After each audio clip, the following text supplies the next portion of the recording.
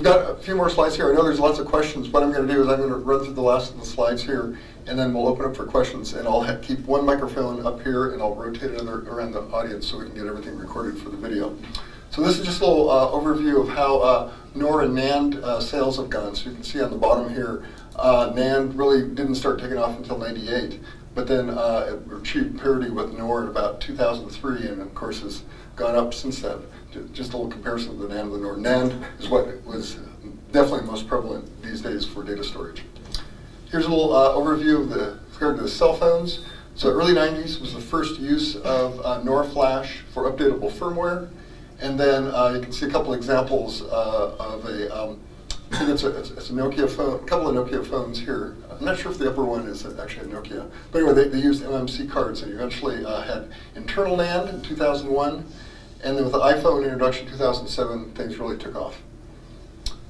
And uh, here's a little overview of uh, different options for data storage. Uh, started with the um, PCMCIA card in the lower left there back in 1991, and the micro SD, which was introduced in 2004. And just to show you what what um, you know things have happened, like in the 10-year span, this is a really great example. 2004, 128 megabyte. To 2014, 128 gigabyte uh, micro SD card.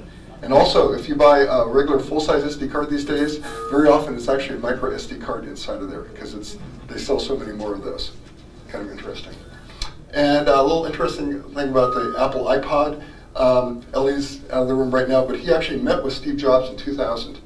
Steve Jobs told him, "Hey, we want to put an SSD inside the iPod, and we want it the same price as a disk drive." And of course, that was not possible. They would have lost money hand over fist with that. So it wasn't until four years after the introduction of 2001 to 2005 that the iPod Nano first came out with flash memory. So that's that's really kind of a barometer as to uh, how you know when flash memory really started getting inexpensive. Just to comment, there's also a time that Intel got into the NAND business. That's also what again? We got into the, Intel got into the NAND business. Ah, you're right. It wasn't until 2005 that Intel actually sold NAND. Uh, well, after that, but uh, we, the, the joint venture of Micron was formed in uh, 2005. Uh, okay, so probably about 2007 you actually were selling NAND? Yeah. So um, that was the year that the uh, iPhone came out also.